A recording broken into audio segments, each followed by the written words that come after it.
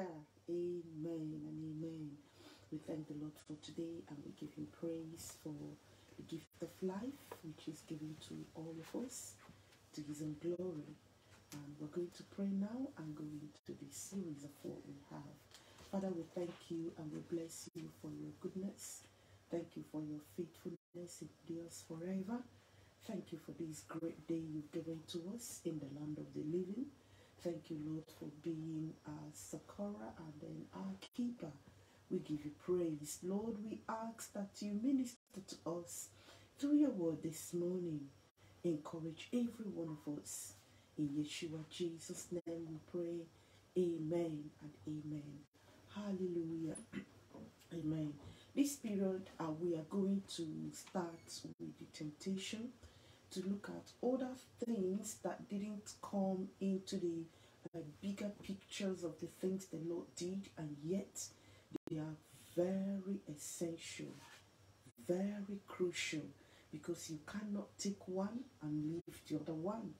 Because miracles happens quite a lot of them, about 37 times, doesn't mean it's more important to the, um, to the book of um, um, Luke chapter 4, Matthew chapter 4, not at all.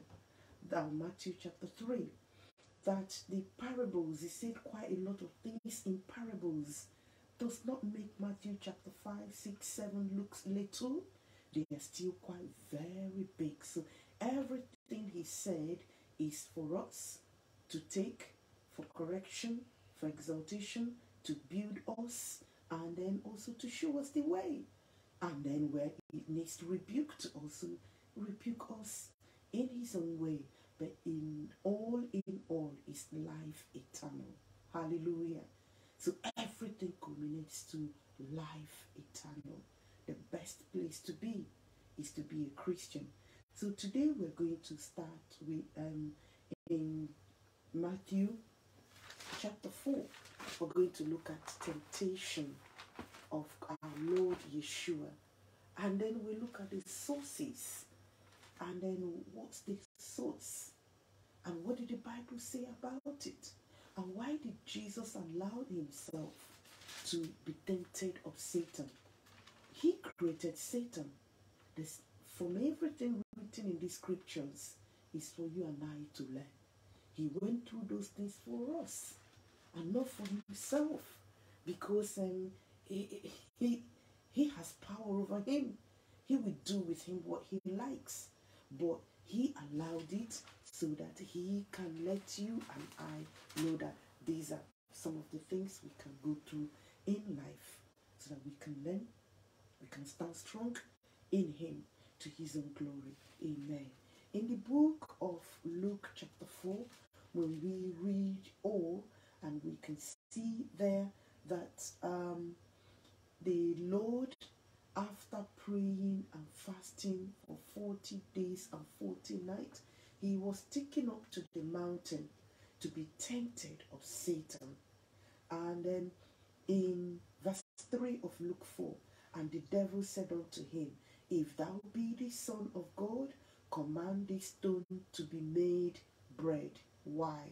Because he was an hungered. Naturally, fasting for 40 days and 40 nights, no eating, no food, no drink, the person will be famished, absolutely hungry. So it's normal. Most of the things that, you know, Satan tempts us are things that are very close to us. They are our need, what we want, what we love. If you're someone who likes to be respected, Satan will come with all sorts of disrespect to make sure that your heart is torn into pieces. That's him. What else can? That's what he's doing, walking to and fro. If you is gluttony, you love food, you want to die in it, well, you know what he did to Esau. He will also do it. So the Bible says here, he was an hungered. He was an hungered. So what do you think Satan will do? Come to offer him a car? No. Come to offer him a holiday? No. Come to offer? yeah, yeah, yeah. Holiday, you go there, rest and others. A car, yeah, you can drive around. A house, yes, is your dream, you can. But there was an immediate need. And that need at that moment is the Bible says he was hungry. He was hungry. Check. What is the immediate need? Right now, for all of us and everybody listening to me, immediate need right now may be different. Some people, their immediate need is water. Make sure he doesn't offer you acid to drink. And because you're thirsty and because the fluid looks clear, you grab it to drink, not knowing that it is not water. And because you didn't smell it, and then you drink, don't go there. He knows what you immediate need. Maybe you're looking for a job desperately. Your, yours is job. He says, okay, you're a Christian. I've got a job to give you. And he will give you a job where your conscience will be bruised, you will lose your salvation and your peace the next minute. All that glitters are no gold. Maybe yours is to pass an exams and he's teaching you, telling you how to cheat. Cheat. Do this. Do that. You can. Maybe yours is money. And he says, Is it money you want? He says, Look, I've got them plenty. I'll tell you things to do to get that money. Now, don't look outside to those in the world. Look inside to yourself. At this time, we're all looking inside. What is the immediate need? What is that thing that Satan will? Something happened um, last week, in the past two weeks, and then last week. But this weekend, okay, this past weekend, you know, it was the climax of all the things and I was wondering and I said no and I sent a text and I sent an email and all those things. This morning, the Lord came to speak to me concerning it, and I was at peace, so much at peace, and so much at peace that I said to myself, Look, who am I that God is mindful of me? I don't even deserve this grace, brother. What the Lord is doing for us is so much beyond us and he was speaking. Brethren, I found love. He loved me this much. He should have just come and talk to me and then put me up there and then, put he, in there, he first of all put my heart at peace and then he was speaking. Say, leave this. That's okay. It's all right. Look at this in the past. Look at this in the past. Look at this in the past. It is well. Brethren, Satan knows what we need most. He needs what we he knows what we care for most. And usually they are the point of temptation. So the message this morning is watch. That's why he says, as I say to you, watch and pray. In all, watch. May we watch in Yeshua's name. Amen. The second one, if thou therefore will worship me, and shall be thine. All this shall be thine. What is it that will be his? He took him up to a mountain and showed him the kingdom of this world. The kingdom this world. Now sit down and think about the kingdom of this world. All of us have been to one school or the other. Even if it's just primary school you've been, you were taught history. History. Past stories. Even in our present time is past, is gone. They are not here, here right now. We can't see them. That's why we're reading them and then we're wondering, did this happen? Did it not? All gone. He showed him what? What will fizzle away? What is transient? What is today? And tomorrow is no more. And asked Jesus, bow. This is the way we start thinking. What is Satan asking me to exchange my eternal life to things that be not? Initially, at first, when you see that thing at present, it looks like, oh, if I don't get it, if I don't get it, everybody's getting it. Oh dear, why me? Everybody's looking this way. Am I the, oh, I need to do this, I need to do that, I need all those things. And he will hype you up, put tension, pressure, fire and you're not sleeping. You're good, you go to, you look to your left, it's that thing, you look to your right, it's that thing. People are talking about it, glorying in it, and you feel like if I don't do it, I am out. Look very well. He took him to the glory. What glory? The glory I was thinking last, you know, week, two weeks ago, and last week with all the storm and then flooding um, threats across Europe and here in the UK. And I sat down and I was looking, and I went back to look at flood. How things people have spent their life doing. This past one, there was a family right there in Europe. They were crying because they have this huge um, holiday place, caravan where people come. Water flushed everything, not just flushed, destroyed everything. And they said, all their life gone in three days. They can't even, they were at the field, at the plot, looking empty. Brethren, this is the life. But they've spent all of them, nothing. And you look at when they some flooding, you, you go back on the internet and you see as far as your eyes can see, water has taken everything houses, cars, human beings, beds, uh, what do we call them? Heads, everything gone. Businesses gone. Brethren, he showed him all these things. What were they? Fashions that were in 1970. You don't talk about it today. Children look at it and they're laughing. They laugh until they're on the floor. They said, What? You mean people did this? Don't worry. If Jesus tarries, those that will come 20 years ago will wonder how you did it too. So you mean they did this? When you look at the fashions then, it's, it's just hilarious. You will laugh and laugh. You look at shoes. Some of them are looking this way. Yet, during those times, people who wore them thought they were on top of the mountain. And it's nothing. We look at the phones in our hands just a few years ago. Look at the first model of the phone you have and look at the one you have now. You are looking at them and you're laughing. The first phone phones looks like brick. And right now, look at how it's sleeky and uh, sleek and uh, what do you call it again? Um, smart they look. Now that is it. It's all gone. All those things gone. Here, the houses that were built for us living in the UK, some of them built in 1730, some of the houses you could see 14 something, some of the houses 15, 16, and you look at them and you are like, wow, we take pictures and take all those things. During their time, people traveled across the world to come and see this epic building that looks so beautiful.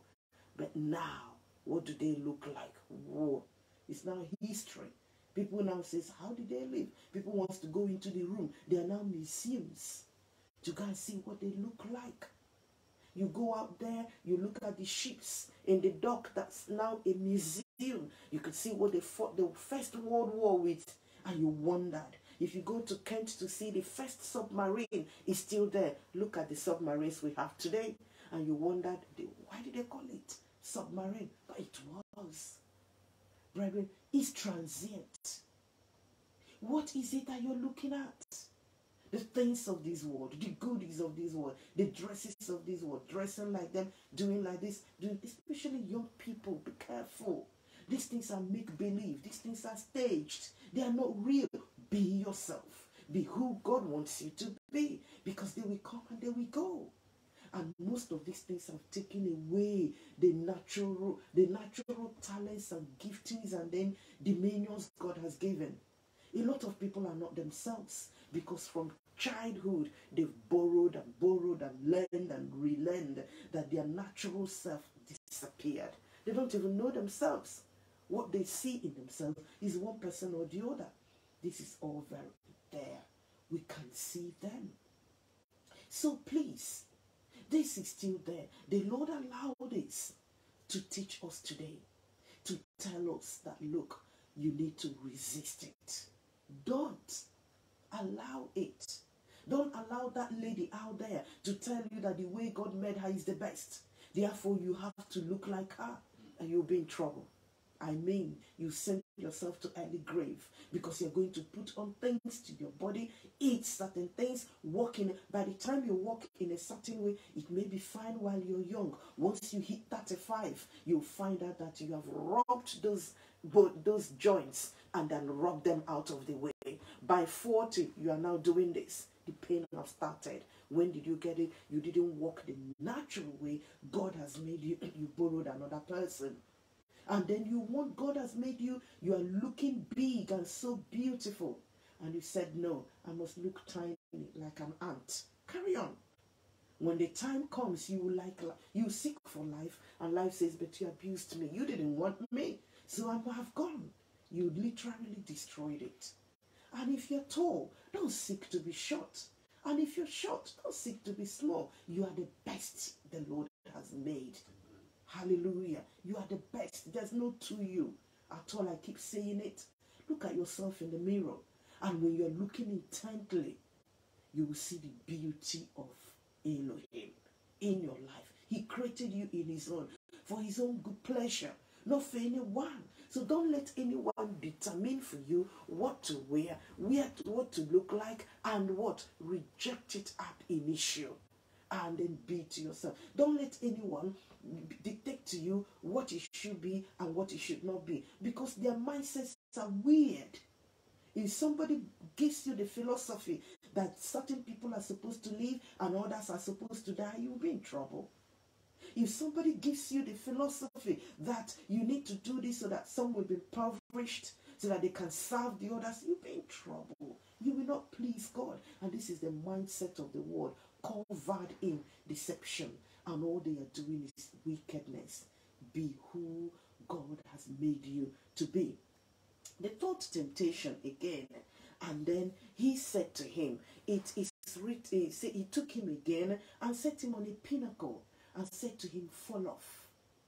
When you fall, he will send his angel charge over you. Now look at the Lord.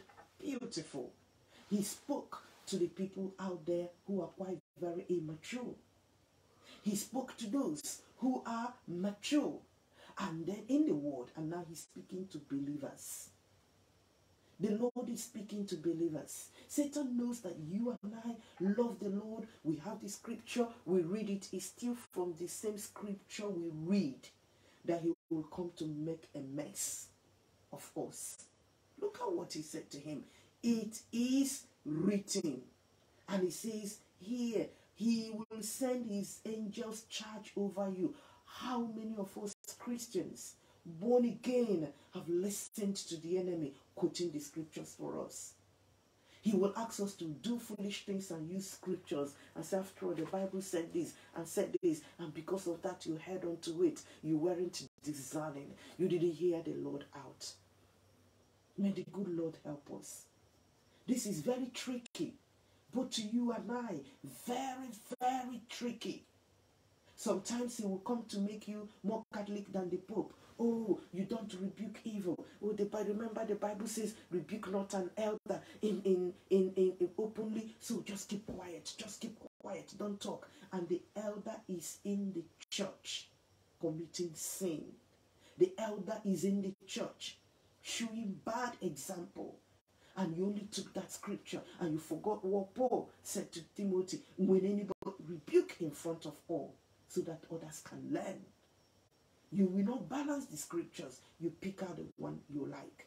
He may come and say to you, "Oh, um, you're you're a, a, a woman of God. You're a this and a miracle. The Bible says that the miracle which He did, that you shall do two or three times, and God has not given you the gift. He didn't ask you. And you go out there and you're trying to show off. Oh, they don't bury that person. He must rise today. You live. If his time is finished and he's gone, he'll be gone. Our part is to pray. But let the will of Elohim be done.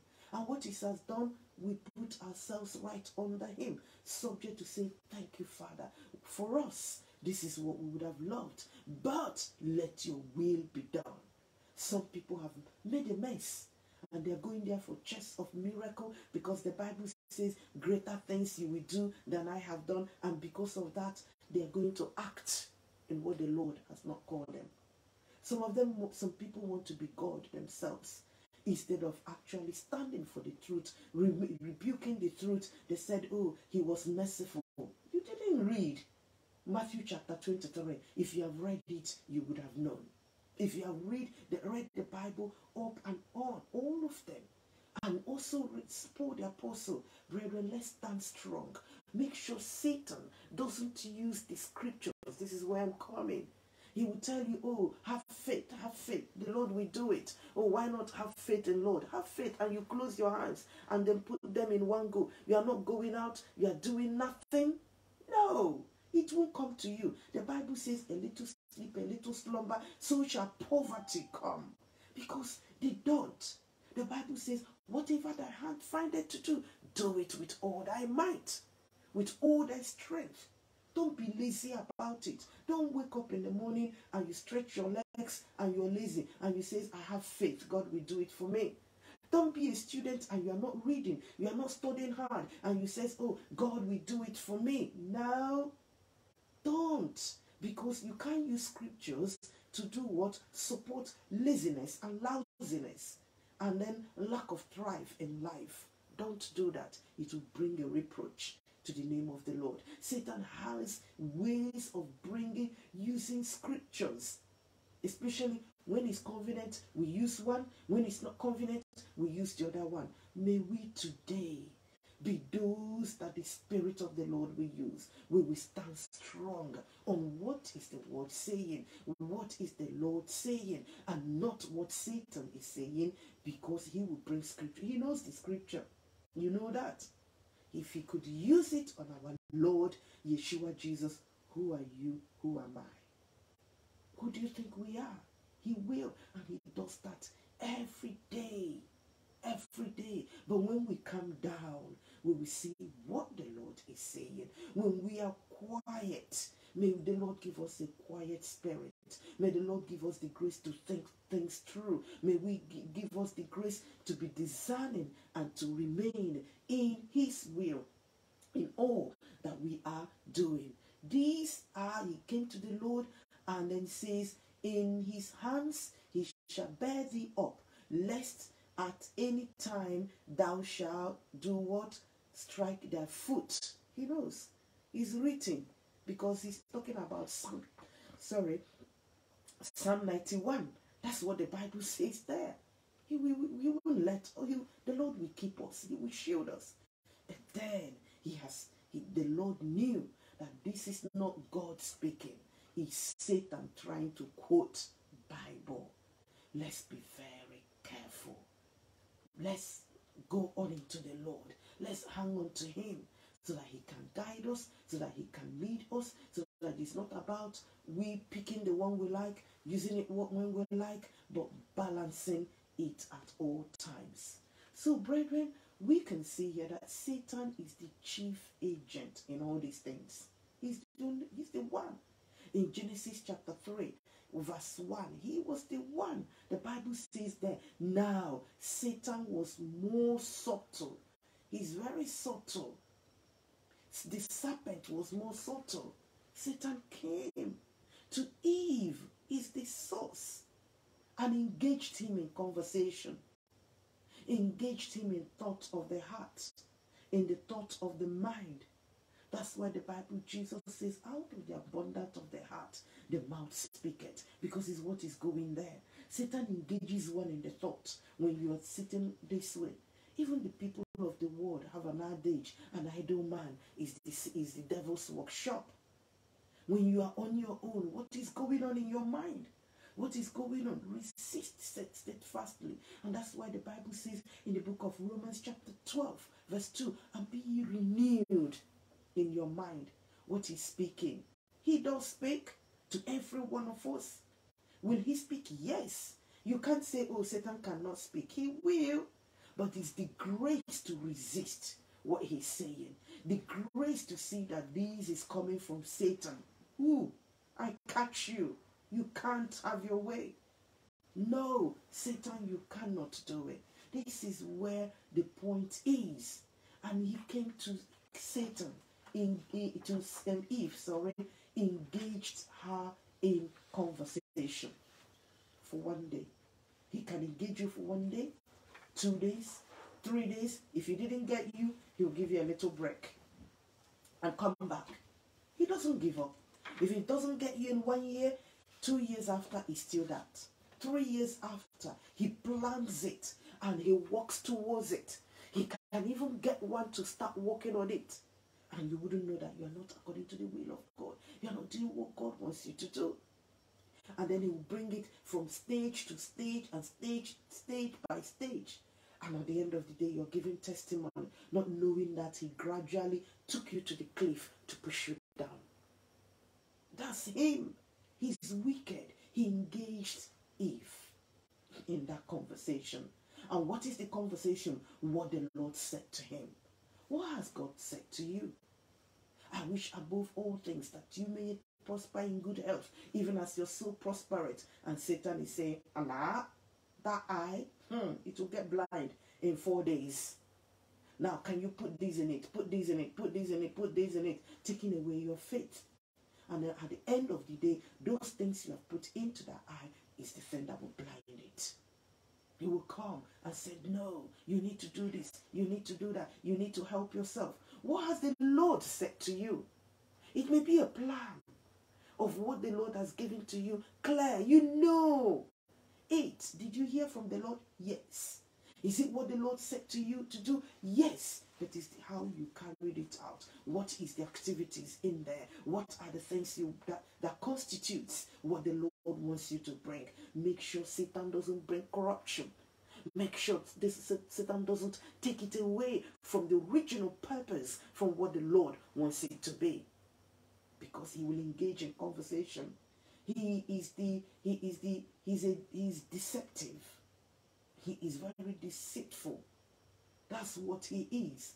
To take people away. He engaged her and says, Did God said? Yeah, God said, if I eat it, I will die. Are you sure? Thou shalt not surely die. That was it. Are you sure?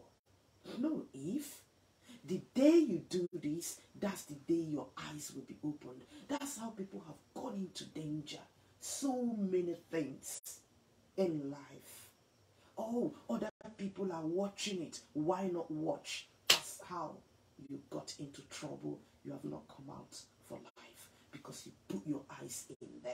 Some people are slaves today. Some people can't even perform. Some people can't even, you know, come out of it because of the things they've wrapped themselves out. And now it's like, who will deliver them? People who have gone into um, dirty things on internet. This is only looking. Maybe as a student, as a young person, you said, oh, let me see. And that is it. But today, we can say, no more. We know the source. Therefore, absolute and total rejection. Some people have gone out there just in a party and they said, No, try it. It doesn't matter. Nah, nah, nah. Therefore, it doesn't, you know. And they said, What? And just one tablet, one drink, one putting it to smoke. And that's how life and future has been ruined. All it takes is once. Some children have tried drugs, and that's it and they're hiding it now. They can't perform. Their concentration is not there. Their mind are all out there, and they keep hiding it from parents until one day you see they're not performing in school. They're not doing because they're engaged in other things. Today you can say no more. It can happen to anyone. It can happen to adults in so many things. Businesses you've gone into and Satan say, oh, it doesn't matter. Go into it. It will bring money. And with that money, you can pay your tithe. And he takes you into a business that you cannot be happy to tell us what you're doing in that business. The business takes you out from Bible study, takes you away from church, keeps you traveling across the world, exposes you to certain things. You don't know where you are anymore. These things can happen to anyone, brethren, even in ministry, it can. Just keep thinking, I can keep naming and naming and naming. But to you, what are the things around you that Satan can lay hands on? If you love shoes, he will give you shoe. And it becomes an idol. All your life you shoe, shoe, shoe. You love dresses, he will give you to them. Oh, you have 10 and 50 wardrobes filled with all sorts. And that's it. You stand in front of it, idolizing it. And then the only thing that makes you feel good is when you wear them. He will give it to you. You love to drink. He will give you alcohol until your liver goes to nothing and finishes and is destroyed. And then we're praying anything. Brethren, let's be watchful. Let's know that in all these things, that our Heavenly Father, He is able to do all things to guide us, to keep us. We're going to continue this afternoon. This is quite very interesting. There's no rushing it. When actually the things that people have gone into are quite a lot. We need to come out, especially in a time like this. Temptation is all over. The tendency to do it. The lure is so pushy. Or you've gone into it. We can start now before we finish this series to start praying to say, Lord, have mercy on me. Father, deliver me. Satan is the chief tempter. All he needed is just one permission, and that's it. If you give him an inch, he takes a foothold, not even, he takes one mile to wreak havoc. But today we can say, Have mercy on me. I'm resisting. I'm not going to stand. Look, from where we read, our Lord Jesus said to him, Get thee behind me. And we're going to look this evening other things and our responses, what it will be concerning this. May we all be here. We all need to stand strong. We all need to resist him. We all need to push back. Don't worry if he had got you today, no more. Don't worry if you have fallen once, two, three, four, even if you've fallen hundred times. Never mind. Today, the Lord will restore as we resist him, as we say, no more. You cannot whisper anything to me anymore. I have found out who you are. I have known the secret. You cannot ruin my life. So, brethren, this is what this message is all about. At the end, it's not for us to cry and say, Oh, I've lost this or that. It's for us to arise from wherever point we are and start. God is able to give us the grace. All we need to do is to have a willing heart to drop off things that are not essential, that are that are injurious to us, that are harmful to us, and then get on with life. Father, we thank you this morning. We give you praise. Thank you for this wonderful teaching. Thank you, Lord, as we go into it. Speak to us, Lord. Yes, we may have mentioned quite few during the courts this morning, but Holy Spirit, you can minister to every heart, to every individual. Lord, as we have heard and we're making up our mind, Lord, to not to listen to Satan anymore and to repent of whatsoever we've gone in. Precious Father, we ask you forgive, have mercy, and give us the grace to stand strong. And then bring us back to finish this lesson you have for us. In Yeshua Jesus' name we pray. Amen and amen. Hallelujah. Remember, our book on His glory goes with us. And then you can say, Oh, Pastor Grace, you oh, you are saying a lot about it. Brethren, if the advertisers could continue, email us, text us, send it on, and you open your email all over the whole place until they get us. Why not the word? That's what I ask myself. Why not? I, it wouldn't have gone the much it has it it has gone if one or two people, but because people were grabbing it, reading, and same testimony across everywhere, then the question is why not throughout the lifeline? So, brethren, why wouldn't we? May the Lord give us the grace. Go to www.assuringgrace.org.